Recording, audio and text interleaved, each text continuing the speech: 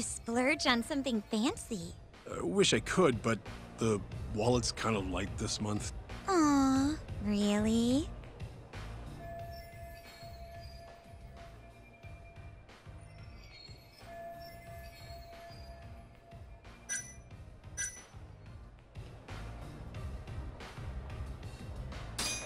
Hey, don't be like that. You're here to have fun, aren't you?